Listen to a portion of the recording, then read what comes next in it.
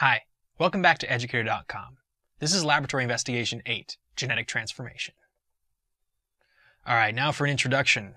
The purpose is to genetically transform E. coli, it's a bacteria, so that it glows green when exposed to UV light. That's pretty awesome. Now this is taking advantage of another organism, a kind of sea jelly or jellyfish, that has that protein that allows it to glow naturally. And when this is, you know, moving around in the ocean and absorbs UV radiation from the sun, it, the way it interacts with the protein gives them this greenish glow and it serves them a purpose in their environment. Now the bacterium does not naturally have it, but when you take that DNA out from the sea jelly's genome and put it in a little plasmid, a little circular piece of DNA and introduce it to the bacterium, you can get it to accept that DNA and express it. And that's the key to genetic transformation, literally transforming the genetics of an organism. So materials, five agar plates, this would be per group. Uh, but for one group, five agar plates. Now agar is a nutrient source. Um, it's actually from a, a kind of um, seaweed. Um, and it kind of looks like plain jello with, it, with a yellowish tint. Um, you put it in petri dishes and you would usually uh, take the powdered version, dissolve it, uh, in, in liquid, heat it up, um, pour it, let it cool until it solidifies. Um, you would need an E. coli starter culture. Um, of course, you would need to do this under the supervision of someone with experience, a teacher or professor, because um, typically with this lab, you would order E. coli that is, excuse me, not as harmful there are strains of E. coli uh, that typically don't kill a person or make a person sick, and that's what you use for this lab. Now, you still don't want to get E. coli even from the harmless ones in your mouth. So you have to be careful. Uh, so starter culture to get the colonies going. Ampicillin, which is an antibiotic. Arabinose, a kind of sugar that helps this lab work. Plasmid. Now, this is not something that's easily found. You would have to order this from a company that, that provides the plasmid.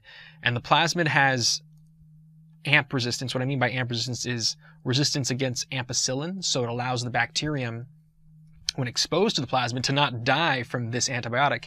And it allows them to make what's called the GFP, which I'll mention again, the green fluorescent protein um, from uh, the gene that was originally in the sea jelly. Inoculating loops, they look like, uh, they're either metal or plastic. They look like long um, sticks that have a little, looks like a little ring at the end.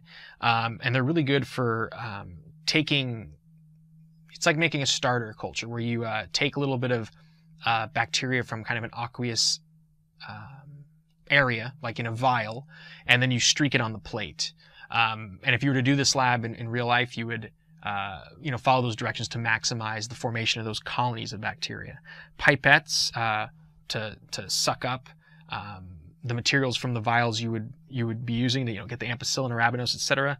Uh, medicine droppers is the same thing. An incubator um, you know, heating up these plates to a certain temperature um, will maximize the cell division of the bacteria and make this lab, you know, come to fruition a little bit faster, and a UV light for visualizing that green glow. Time required about five days from the point where you have your um, your your starting your your starting culture of E. coli to the point where you actually can see um, the glowing.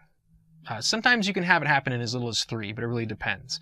And like I uh, kind of hinted at earlier with having a teacher or professor supervise you, there's some risk of uh, getting ill or worse with this lab. So gloves and goggles would be required uh, so that if you do get something on your hands, um, you know, it's not going to harm you. Um, you know, before you put your hands in your mouth, dispose of the gloves, wash your hands thoroughly, use hand sanitizer, and make sure that uh, nothing terrible happens during this lab.